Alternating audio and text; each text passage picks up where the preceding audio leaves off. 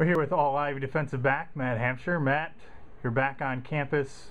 What's it feel like now to be going into your last preseason camp?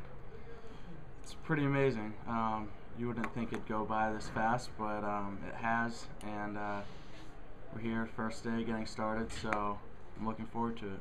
What's kind of the attitude of the team heading into this year?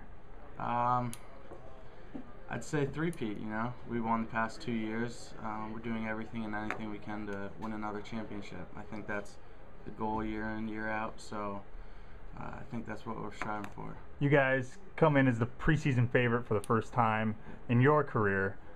Do you feel any sort of pressure with that number one ranking?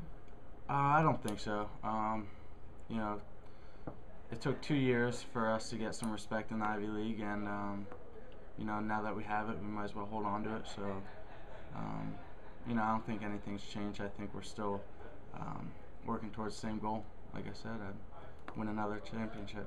And you got four weeks here of preseason ball. Just for people who don't know, what what are your goals for as a team going into this camp, and what are you, what are you trying to hope to accomplish when these four weeks are done? Um, you know, one of the biggest things is um, you know inviting the freshmen in. Kind of showing them the ropes um, and continue building on the program. I think that's an important part of Penn football, and uh, you know, just working hard every day and um, you know doing what the coaches ask of us, and uh, you know if we do everything we can and they do everything they can, uh, it should be a good year. Well, Matt, we'll let you get back to your first day activities here. Yeah. Thank you.